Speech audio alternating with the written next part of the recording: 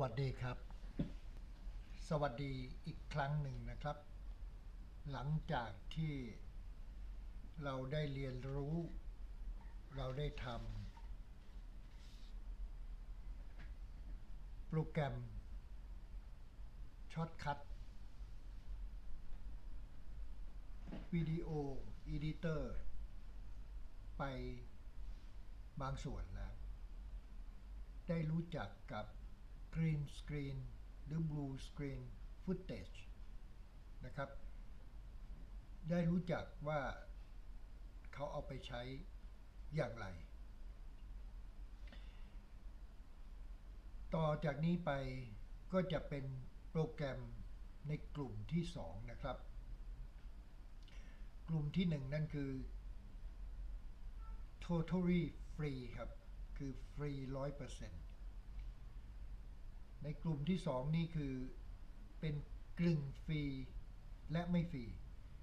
คือมีให้คุณใช้ฟรี และก็ให้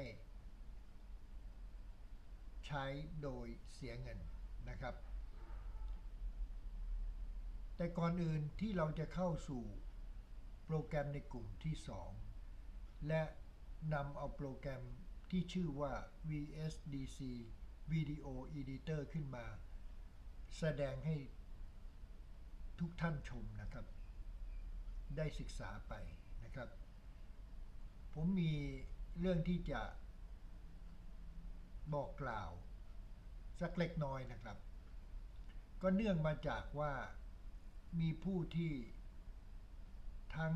อีเมลและโทรศัพท์มาหาผมนะครับ มีคำถามนะครับ มีคำถามนะครับ มีคำถามว่า เป็นคำถามที่ดีนะครับคำถามที่ดีมากเลยนะครับ มีคำถามมาถึงผมมากพอสมควรนะครับว่า แล้ว Green Screen เนี่ย หรือ Blue Screen เนี่ย เราไปใช้ประโยชน์ทางด้านใดได้บ้าง นี่ผมถือว่าเป็นคำถามที่ดีมากเลยนะครับ เพราะแสดงว่าท่านเริ่มสนใจ ท่านเริ่มสนใจกับ Blue Screen และ Green Screen แต่ความสนใจของท่านเนี่ย ท่านอาจจะมีคอนเซปต์ไว้ในใจอยู่ในสมองแล้วว่า จะนำไปใช้ทำอะไร แต่เนื่องด้วยประสบการณ์และท่านเพิ่งเข้ามาสู่ ตรงนี้ไม่นานนะครับ ท่านก็ไม่แน่ใจว่าความคิดของท่าน ตรงนั้นถูกต้องหรือไม่ หรือจริงหรือเปล่าทำได้จริงไหมนะครับ ผมนะครับจะดีใจมาก จะดีใจที่สุดในชีวิตเลยก็ได้ว่าวาท่านได้นำเอาเทคโนโลยีทางด้านนี้ ไปก่อให้เกิดประโยชน์ กับตัวท่าน กับครอบครัวของท่าน กับลูกๆหลานๆของเรา และในท้ายที่สุดกับประเทศชาติของเรานะครับ ผมก็เลยมานั่งคิดนะครับ มานั่งดูและมานั่งรวบรวมความรู้ความสามารถอันน้อยนิดของผมเนี่ย แล้วก็สรุปเพื่อที่จะมาตอบคำถามของท่าน และคิดว่าการตอบคำถามอันนี้เนี่ยสำคัญมากครับ ต้องขอตอบยาวสักนิดหนึ่งนะ เพราะมันคือการนำไปแอพพลายหรือต่อยอดใช้จริง ในชีวิตประจำวันในสิ่งที่เราจะต้องประสบ เมื่อเรารู้วิธีการในการจัดการหรือทำแล้วเนี่ย เราต้องนำไปใช้งานได้นะครับ เพื่อการสนับสนุน เพื่อการสนับสนุนการผลิตของเรา เพื่อการสนับสนุนการ ค้าขายของเรา หรือเพื่อการสนับสนุน การสอน การกระจายความรู้ของเรา หรือถ้าเป็นในโดยตรงเลยก็คือนำกรีนสกรีนไปใช้เป็น สิ่งที่จะก่อให้เกิดนะครับ สิ่งที่จะก่อให้เกิด production ขึ้นมาโดยตรง รือการผลิตโดยตรง พูดไปบางครั้งก็งง แต่ผมจะมีตัวอย่างให้เข้าใจตลอดนะครับ และต้องเรียนให้ทราบหรือชี้แจงให้ทราบก่อนว่า ตัวอย่างหรือคอนเซปต์ที่ผมบอกเนี่ยส่วนใหญ่แล้วคือเป็นตัวอย่างที่ทำได้จริง และก็ มีความสำคัญ นะครับ เหมือนกับเป็นเขาเรียกว่าเป็นโปรโตไทป์นะครับ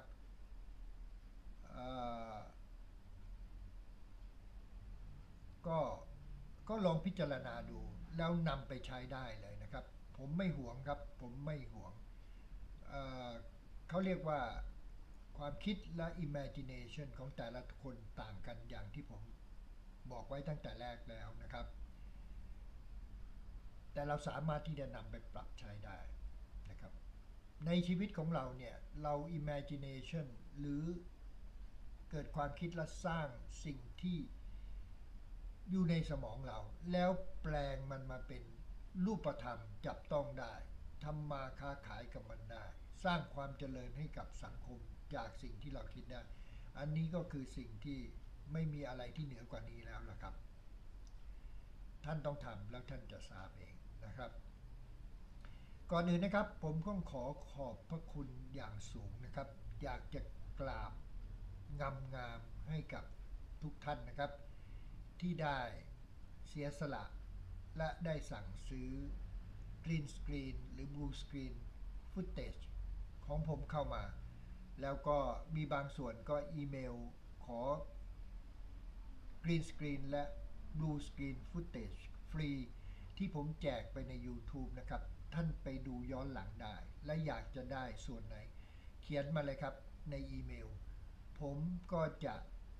ส่งชุดสำเร็จนะครับ ไปให้ท่าน อย่างที่ได้บอกไว้แล้วในตอนต้น ก็จะไม่พูดอีกครั้งหนึ่ง ต้องขอขอบพระคุณอย่างสูงนะครับสำหรับทุกท่านนะครับ เพื่อสารความฝันของผมและของทุกท่าน พื่อสารความฝันของเด็กไทยในอนาคตนะครับ เด็กๆของเราที่จะโตขึ้นมา จะได้เข้าใจและนำสิ่งต่างๆเหล่านี้ไปใช้เพื่อต่อยอดและประยุกต์ใช้ ในห่วงเวลาของพวกเขาที่โตขึ้นมา ซึ่งบางอย่างเราสามารถที่จะกำหนด เรารู้ว่าอะไรจะเกิดขึ้นในอนาคตข้างหน้า ในอีกหนึ่งทศวรรษหรือ 2 3 4 ทศวรรษข้างหน้านะครับ ด้วยประสบ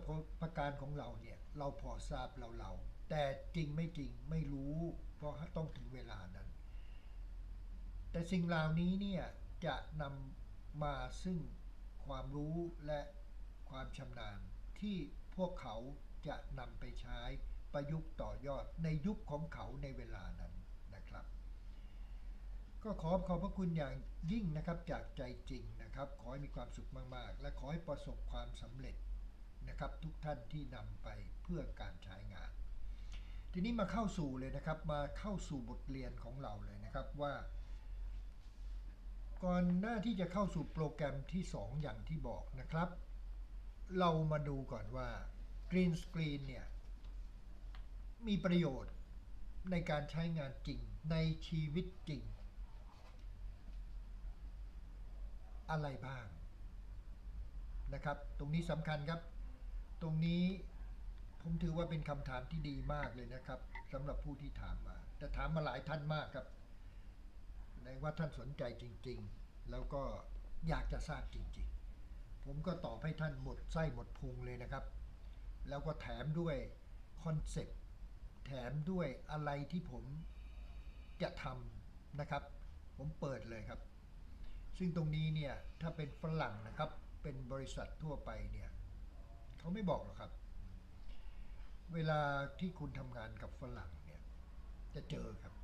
ผมเนี่ยทำมาแล้ว คือในบริษัทเนี่ยนะคุณจะเดินมั่วไม่ได้นะครับ บริษัทที่เขาบริหารงานอย่างฝรั่ง หรืออย่างประเทศที่เขาเจริญแล้วเนี่ยเขาจะมี ลำดับชั้นของการที่จะเข้าไป access ได้นะครับ คุณทำหน้าที่อะไรนะครับ คุณก็จะได้หมายเลขชื่อเขาเรียกว่า batch batch นะครับ จะมี memory chip อยู่ข้างใน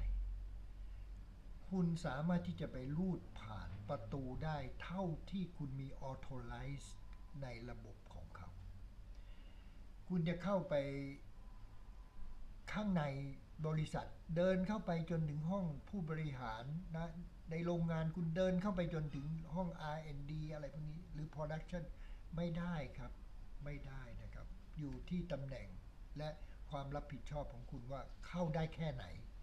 access ได้แค่ไหน ทั้งหลายทั้งปวงนี่คืออะไรครับ คือเขา protect ครับเขาป้องกันนะครับ ปัญญาของเขาครับ ปัญญาประดิษฐ์เนี่ยครับ ปัญญาของเขาครับ ความรู้และก็สิ่งที่เขาคิดนะครับ ที่เขาทำอยู่ เพราะว่าถ้าคุณเข้าไปเนี่ยเข้าใจใช่ไหมครับ เขาไม่รู้ว่าคุณเป็น spy หรือเปล่า เป็นสายลับหรือเปล่า ของบริษัทคู่แข่งหรือเปล่า เข้าไปเห็นปั๊บเนี่ยแค่มองนะครับ ถ้าคุณเป็นระดับ professional เนี่ยแค่มองอย่างเดียวเนี่ยรู้เลยครับว่ากำลังผลิตอะไรอยู่ และกำลังสร้างอะไรอยู่ นั่นคือความลับของ ความลับในทางการค้าที่เขาจะต้องต่อสู้ในระดับโลกนะครับ เพราะฉะนั้นแบตที่คุณได้รับเนี่ย ก็จะอนุญาตให้คุณสามารถเข้าไป access ได้เฉพาะพื้นที่ที่เขาอนุญาตเท่านั้นนะครับ โดยเฉพาะบริษัทที่ผลิตอาวุธเนี่ย ยิ่งแล้วใหญ่เลยนะครับ คุณเข้าไม่ได้หรอกครับ ถ้าคุณไม่มีความรับผิดชอบหรือมีหน้าที่ ที่จะเข้าไปนะครับ ก็เล็กๆ น้อยๆนะครับ ตอนนี้เข้าสู่เราเข้าสู่บทเรียนเลยบทเรียนเลยว่า Green Screen และ Blue Screen ที่ผมสอนไปเนี่ยเอาไปใช้อะไรได้บ้างในชีวิตจริงนะครับ เดี๋ยวผมจะเรียกเมื่อสักครู่อาจจะมีเสียงนะครับ เสียงจากภายนอกเข้ามาในสตูดิโอชั่วคราวเอ่อ คงจะไม่ไม่รบกวนท่านท่านทั้งหลายเท่าไหร่นะครับ แต่ผมก็พยายามยกมือบอกแล้วนะครับว่า on air อยู่ครับ on air นะครับ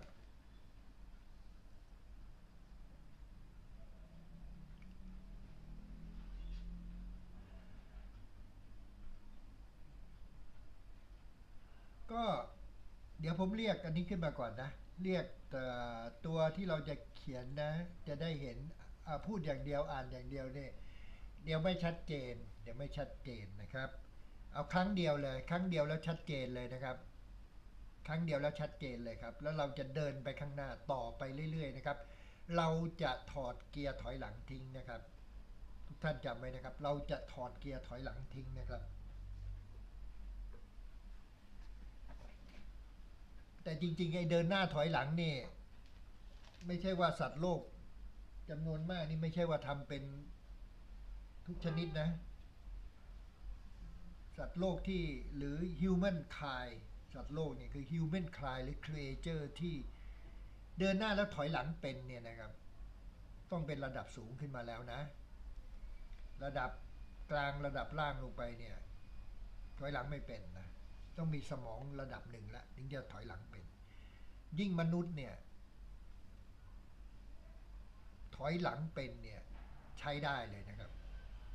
เดินหน้าอย่างเดียวนี่ ภาษาไทยโบราณเขาเรียกอะไรเออประธานโทษเขาเรียกละห่ำรู้จักไหมันละห่ำไม่ใช่หืนนะละห่ำถ้าถอยหลังเป็นเนี่ยนะ นักปราชญ์ก็บอกว่าคนนี้เนี่ยใช้ได้เลย เดินหน้าเป็นถอยหลังเป็นเนี่ยถ้าภาษาอังกฤษก็เรียกว่า compromise เป็นไอ้พูดแค่นี้นะ ประธานโทษนะครับ ไม่ได้คุยนะครับ ก็คุยกันได้อีกเป็นเดียวไมโครโฟนได้เป็นห้าหกชั่วโมงเลยล่ะไอ้เดินหน้าถอยหลังเนี่ยสนุกด้วย มีสนุกสนานตลก บ้างแฝงความรู้ แฝงปัชญาในยะสำคัญไว้มากทีเดียวนะครับ แต่ไม่ได้อยู่ในบทเรียนนี้ครับ ขอผ่านนะครับ ต้องดึงดึงกลับมาหน่อย อยากพูดแต่พูดไม่ได้นะครับ เอาละครับผมพร้อมแล้วนะ ผมเรียกไอตัวตัว WordPad ขึ้นมาแล้วนะครับ โอเคนะครับ Green Screen และ Blue Screen Footage ประโยชน์อันแรกเลยนะ ประโยชน์อันที่หนึ่งนะ อ่าหนึ่งนะหนึ่งตัวเบลเลอร์เลยนะ จดไม่จดไม่ต้องจดก็ได้นะ เพราะว่ามันถูกอัดไว้ในคลิปแล้ว คุณไม่เปิดคลิปคุณย้อนกลับมาดูได้ตลอดเวลานะครับ จนกว่าคลิปจะถูกลบไป แต่สำหรับผมแล้วเนี่ย ถ้า YouTube ไม่เจงนะ คลิปอยู่ในนั้นตลอดเนี่ยไม่มีการลบคุณไปดูได้เลยนะ จะเป็นประวัติไปตลอดเลยครับ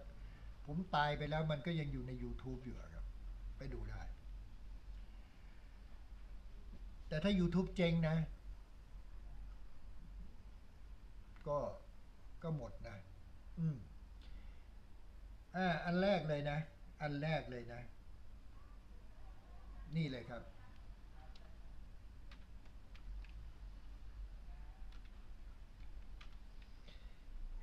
นี่เขียนแค่นี้เนี่ย บางคนรู้ละนะส่วนใหญ่รู้แล้ว นี่เป็นไงครับ educational educational นะครับ education ภาษาอังกฤษนะ ภาษาไทยนี่ก็ว่าอย่างนี้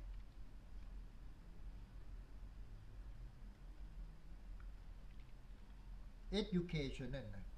ก็ก็ภาษาไทยเดี๋ยวนิดหนึ่งนะนี่ไอ้ สวยๆหน่อยนะระบบเลยระบบการอะไรระบบการนี่แหละ ผมสะกดผิดอะไรนี่ก็ประทานอภัยด้วยนะ ไม่เก่งเท่าไหร่ แต่รู้รู้รู้แต่บางทีตัวสะกด ก็ยากภาษาไทยยากที่สุดในโลก ภาษาไทยยากที่สุดในโลก นี่ถูกไหมถูกนะ ถูกนะอ้าวเดี๋ยวเอาคนละสีคนละสีหน่อยจะได้จะได้ดูชัดๆนะอ่าคนละสีอันนี้สีอะไรดีไอ้นั่นสีน้ำเงิน อันนี้ก็เป็นสีสีเหลืองอะมันเรียงไม่ชัดนะชัดไหมไม่ชัดเลยอ่าเอาเป็นสีอื่นสีสีอะไรดีสีอะไรดีชัดๆก็สีแดงนะสีแดงก็จะชัดเอ้ยใช้ได้นะ จริงๆพื้นสีเหลืองแล้วก็นี่สีแดงก็โอเค แต่อย่างเงี้ยโอเคละทีนี้อะมันเอาแถวอยู่แถวเดียวกันดีกว่าอ่าลดขนาดหน่อยลดไซส์มันลงมานิดนึงนะลดไซส์มันลงมานิดนึงเอาเหลือถ้าเหลือทั้งยี่สิบแปดเล็กไปไหมอ่ายี่แปดเล็กไปฮะสามสิบหกอ่าใช้ได้เลยสามสิบหกใช้ได้เลย แล้วก็เป็นอังสนา UPC นะครับ แล้วก็แล้วก็เอาเป็นโบง โบงก็คือตัวหนาจะได้เห็นชัดเจนนะ อะไรอีกดีอะโตโยดีไหมอะโตโยสวยแต่ไม่เอา เอาตีเส้นใต้ด้วย อ่า ไม่เลว ตีเส้นใต้ด้วยนะ จบ แค่นี้แหละนะครับ เราไม่ได้เรียนเวิร์ดนะ ไม่ได้เรียน การทำตัวอักษรนะ educational educational education คือระบบการศึกษา ผมอยากจะบอกว่า Green Screen และ Blue Screen เนี่ย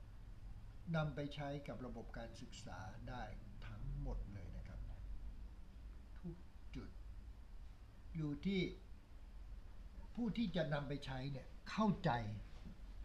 และนำไปใช้ได้ไหมเอาใส่เข้าไปในมันเท่านั้นนะเพราะอะไรครับ เพราะการศึกษานะครับ การศึกษาเนี่ยการศึกษาเนี่ยก็คือการอะไรครับการเรียนรู้ การเรียนรู้เนี่ยเป็นสิ่งสำคัญสำหรับมนุษย์ใช่ครับ การเรียนรู้เนี่ยมีเรียนแล้วเข้าใจกับเรียนแล้วไม่เข้าใจสองอย่างเท่านั้นน่ะง่าย ๆ นะ เข้าใจแล้วก็ไม่เข้าใจ เข้าใจคือได้สิ่งที่ถูกต้องนำไปใช้ได้ นำไปพัฒนาตัวเอง พัฒนาคนใกล้เคียง พัฒนาหมู่บ้านตำบลอำเภอจังหวัด และประเทศตัวเอง และสุดท้ายคือพัฒนามนุษยชาติหรือโลกใบนี้คือการศึกษาที่ถูกต้อง ทุกคนได้ประโยชน์หมดวินวิน ทุกคนได้ประโยชน์หมด แต่ถ้าการศึกษาเนี่ยแล้วผู้ศึกษาไม่เข้าใจ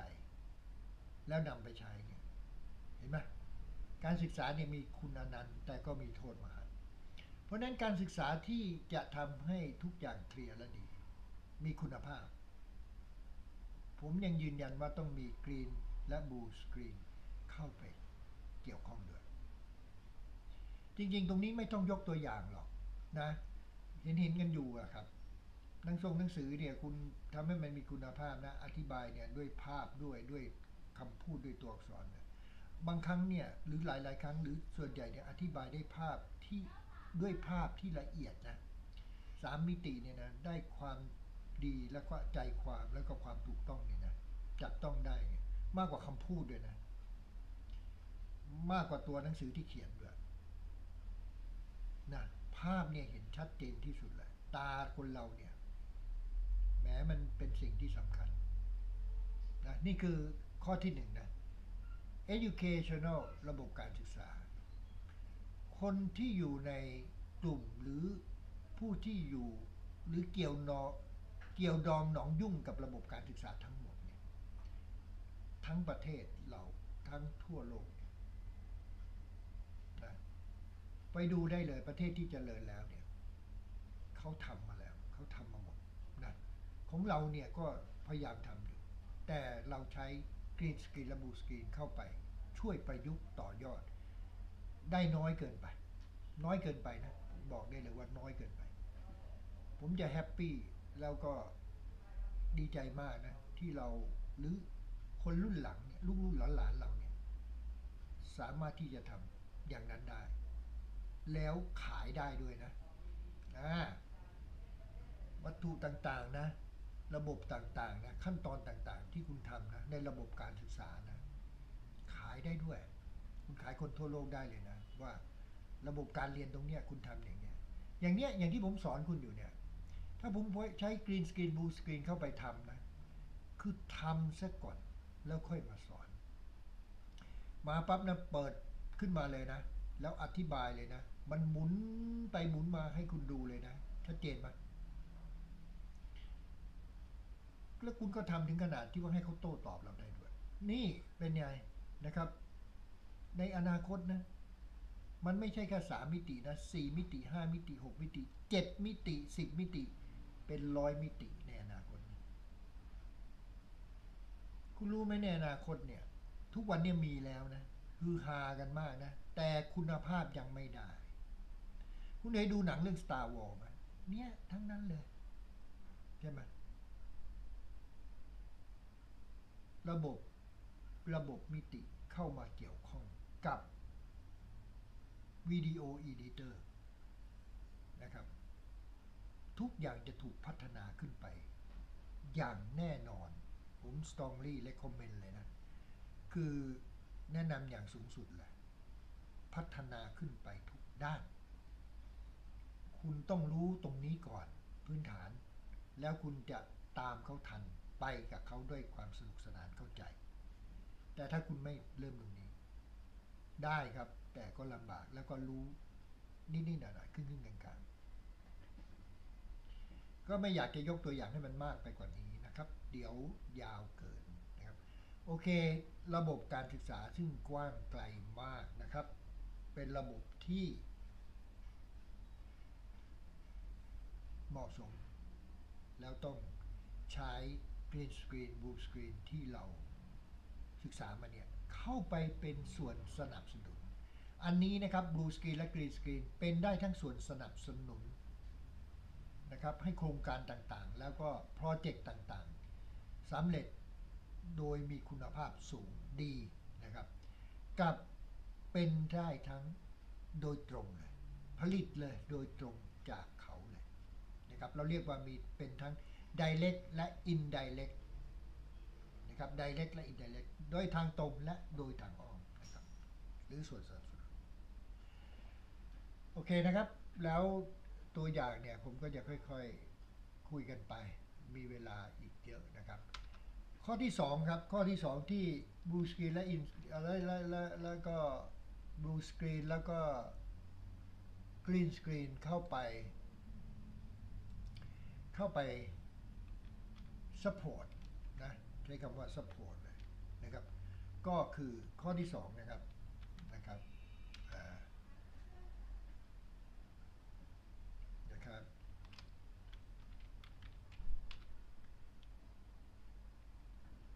ทีแค่นี้อาจจะรู้แล้วนะ instruction รู้แน่ Instru- instruction channel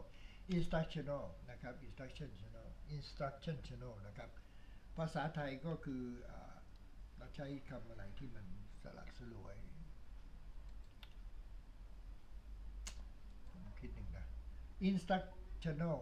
instruction channel instructional instructional นะครับแหมออกเสียงยาวลิ้นไม่ไป ก็เนี่ยมารู้ภาษาอังกฤษตอนโตแล้วเนี่ย ลิ้นไม่ไปละเคยพูดแล้วใช่ไหมไม่ต้องพูดแล้วนะ เด็กอะ่ะตั้งแต่ในท้องอะ่ะจนถึงห้าขวบเนี่ย ลิ้นเนี่ย คุยภาษาอะไรก็ได้ เพราะนั้นมีลูกนะ ที่หกขวบไปแล้วก็เสียใจด้วยนะครับ แต่ถ้ายังลูกยังเด็ก ๆ นะ อยากจะให้พูดภาษาอะไรเก่งๆ เหมือนแม่ เหมือนพ่อเหมือนภาษาแม่เลยนะ เรียนเลยตอนนั้นนะอัดภาษาเข้าไปเลยตอนเด็ก ๆอะ่ะศูนย์ถึงห้าขวบอะ่ะรับประกันเลยฟังแล้วชื่นใจเลย พูดเหมือนเจ้าของภาษาเลย เหมือนอย่าให้ฉลาดหรือโง่หรือหรือไอคิวสูงต่ำเนี่ยศูนย์ถึงห้าขวบนะอย่าลืมนะนี่ย้ำอีกครั้งนะไปดูเลยอาหารอะไรที่เด็กเนี่ยศูนย์ถึงห้าขวบกินแล้วเนี่ยโอเมก้าทั้งหลายเนี่ยเพิ่มอะไร เพิ่มปริมาณ เพิ่มปริมาณสมองนะเซลล์สมองนะให้มากๆนะ IQ สูงความจำดี แล้วหลังจากนั้นนะประธานโทษเสียใจด้วย เซลล์สมองไม่เพิ่มละ ฉลาดก็ฉลาดอยู่อย่างนั้นนะไม่ไม่โง่อนะ ประธานโทษนะ ไม่ฉลาดนะ หรือที่เรียกว่าพูดเบาๆนะโง่อะน่ะน่ะไม่ฉลาดอะ ก็อย่างนั้นเลยแหละยากแล้วยากแล้วทำไม่ได้ด้วยเพราะหลังจากนั้นเนี่ยเซลล์สมองโตอย่างเดียวโตตามตัว โตตามขนาดของเจ้าของ โตตามขนาดของหัว ที่โตขึ้น ปริมาณไม่เพิ่มเอาเอามานี่ดึงกลับมา instruction instructional นะครับคืออะไรดีอ่าคือคืออะไร ระบบอ่ามันระบบแต่แรกแล้ว เราก็ระบบอีกเหมือนกันแล้วนะก็เป็นระบบแหละครับ ระบบนะระบบการอะไร ระบบ ระบบการอ่าระบบการสระอานะระบบการ แนะนำเออแนะนำดีกว่า ใช้คำว่าแนะนำนะที่มันแปลว่าคำสั่งก็ได้นะ ระบบการสั่งงาน ระบบการสั่งงานเออระบบการแนะนำและสั่งงาน เออไม่เลวเนี่ยเราแค่เราคิดได้ยังไงเนี่ยแม่หัวดีจัง ประธานโทษนะ ไม่มีใครยกหางยกหางตัวเองคนบ้างก็อารมณ์จะได้ดี ระบบการแนะนำนะครับ ระบบการแนะนำและและอะไรครับและและระบบการแนะนำและ นี่เป็นไงโอ้โหคีเก่งมากเลยระบบการแนะนำและ สั่งการ instructional ระบบการแนะนำและสั่ง ระบบการแนะนำและสั่งการ มันตรงตัวอยู่แล้ว ในบริษัทที่ผมพูดมาสักครู่เนี่ยในหน่วยงาน ในสังคม แม้แต่ในที่สาธารณะ สวนหลวงรอเก้าบึงหนองบอนเคยเห็นป้ายไหมเคยเห็นป้ายไหมครับพูดกันเฮี้ยมเลยนะ ขอโทษนะขอประทานโทษจริง ๆ ก็สอนไมาเยอะแล้ว มัน มันต้องสนุกบ้างนะครับต้องสนุกบ้าง ต่อเนื่องต่อเนื่องระบบการแนะนำและสั่งการเนี่ยเคยเห็นป้ายไหมครับ ป้ายบอกว่า การุณาอย่าตกปลา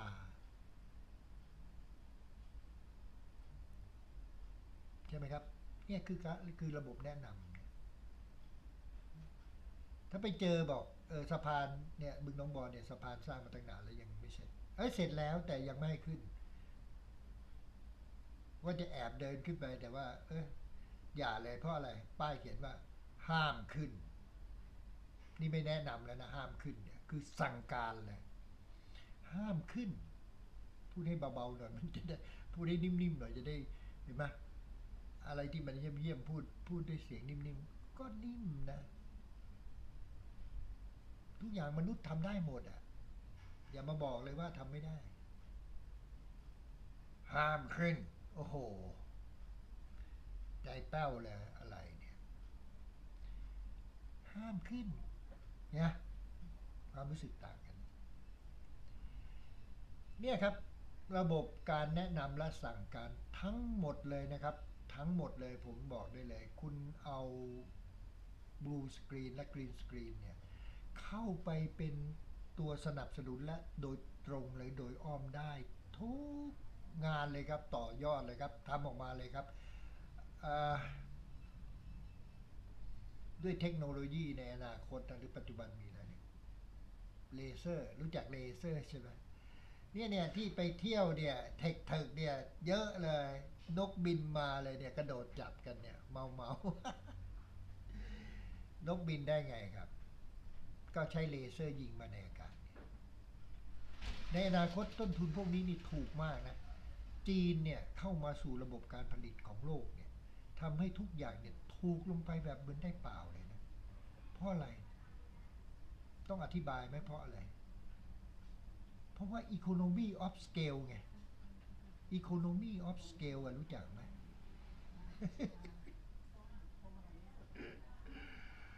เออ ยกตัวอย่างนิดหนึ่งนะ เพื่อความเข้าใจนะ ก่อนที่จะดึงกลับมาตรงนี้นะ economy of scale เนี่ย คือความได้เปรียบของประเทศที่มีประชากรมหาศาล แต่ผมไม่ได้หมายความว่าคุณจะต้องไปปั๊มคนนะ ประเทศไทย 60 ล้านคนรีบๆปั๊มเลยนะ อีก 10 ปีข้างหน้ามีทั้ง500 ล้านคน ผมว่าคุณไม่ต้องหายใจหายคอกันแล้วนะอีก20 ปีประเทศไทยมีพันล้านคน อ้าวคุณครูทวัชชัยไม่ใช่มันยังติดชื่อเดิมอยู่คุณครูพวิทย์ท่านเจริญการค้า ท่านบอกไว้นี่บอกว่า economy of scale economy of scale คนมาก ๆ ต้นทุนจะต่ำต่ำมาก ๆ จนเหมือนกันได้ฟรี แต่ของฟรีไม่มีในโลกยังไงก็มีต้นทุน ไม่ว่าจะเป็น 0.0001 อะไรครับ สตางก็คือต้นทุนนะครับ แต่ต้นทุนต่ำทำให้คุณมีความสามารถในการแข่งขันในตลาดโลกได้ดีมากๆ คุณตั้งราคาเท่าไหร่ก็ได้คุณก็กำไร คุณตั้งราคาเท่ากับคู่ต่อสู้ แต่การส่งของของคุณไปถึงผู้ใช้เนี่ยฟรี